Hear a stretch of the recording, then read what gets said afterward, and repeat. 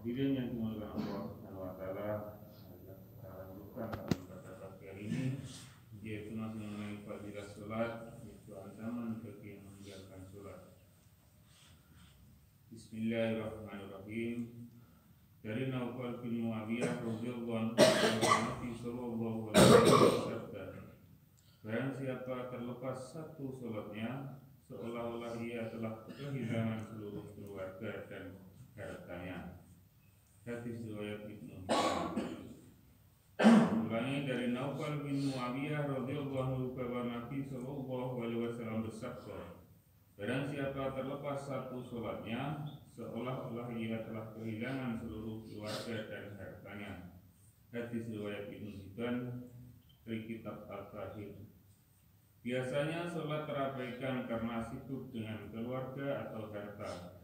Nabi Shallallahu Alaihi Wasallam bersabda, jika harta telah melalaikan satu sholat saja, maka kita harus bersedih seolah-olah kita telah kehilangan seluruh keluarga dan harta kita. Tinggal kita sendiri di dalam rumah kita. Jadi berapa banyak kerugian kita jika kehilangan semua itu. Sebanyak itu pula kerugian kita bila meninggalkan sholat.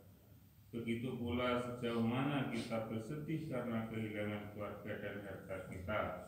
Sejauh itu pula hendaknya kita bersedih jika kehilangan sholat.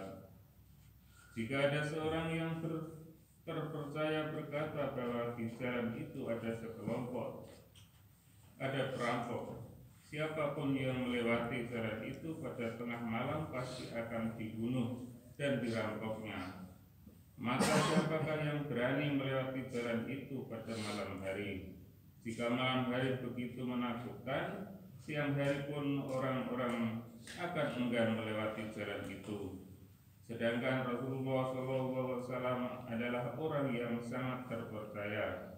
Beliau sering memperingatkan kita, tetapi kita sering melalaikannya. Kita sering mengaku sebagai pengikutnya yang setia, namun adakah pengaruh dari sabda beliau yang termelekat pada diri kita? Demikianlah diri yang dimakan Allah Subhanahu wa taala satu Rasulullah SAW mengatakan mudah-mudahan kita kesankan dalam hati agar kita mudah doa dan sampaikan pada saudara yang lain. Marilah kita tutup sama-sama dengan doa kita nabi wa kita asyhadu an la ilaha out of.